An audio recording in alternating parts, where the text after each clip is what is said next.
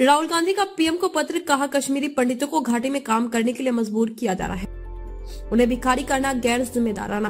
कांग्रेस सांसद राहुल गांधी ने शुक्रवार को प्रधानमंत्री नरेंद्र मोदी को दो पन्नों की चिट्ठी लिखी है। राहुल गांधी ने इसमें कश्मीरी पंडितों की समस्याओं के बारे में बताया है। उन्होंने लिखा कि जम्मू कश्मीर में टारगेट किलिंग के बीच कश्मीरी पंडितों को घाटी में काम करने के लिए मजबूर किया जा रहा है। साथ ही उपराज्यपाल मनोज सिन्हा जी द्वारा उनके लिए भिखारी जैसे शब्दों का प्रयोग गैर जिम्मेदाराना है। उन्होंने प्रधानमंत्री ऐसी कश्मीरी पंडितों की चिंताओं को दूर करने के लिए उचित कदम उठाने की अपील की। आशा है आप सकुशल होंगे। इस पत्र के माध्यम ऐसी मैं आपका ध्यान कश्मीर घाटी ऐसी विस्थापित कश्मीरी पंडित समुदाय की पीड़ा की ओर खींचना चाहता हूँ।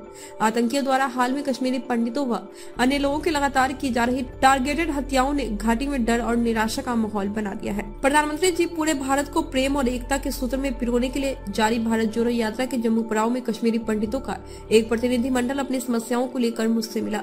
उन्होंने जानकारी दी कि सरकार के अधिकारी उन्हें कश्मीर घाटी में वापस काम पर जाने के लिए मजबूर कर रहे हैं।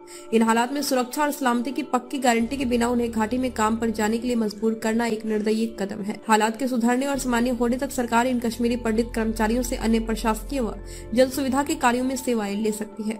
अपनी सुरक्षा और परिवार की चिंताओं को लेकर गुहार लगा रहे कश्मीरी पंडितों को, आज जब सरकार से हमदर्दी और अपने पन की उम्मीद है, तब उपराज्यपाल जी द्वारा उनके लिए भिखारी जैसे शब्द का प्रयोग गैर जिम्मेदाराना है। प्रधानमंत्री जी, शायद आप स्थानीय प्रशासन की इस असंवेदनशील शैली से परिचित न हो। मैंने कश्मीरी पंडित भाइयों और बहनों का भरोसा दिया कि उनकी चिंताओं व मांगों को आप तक पहुँचाने का पूरा प्रयास करूँगा। मुझे उम्मीद है कि यह सूचना मिलते ही आप इस बारे में उचित कदम उठाएँगे। माता खीर भवानी की कृपा आप पर बनी रहे।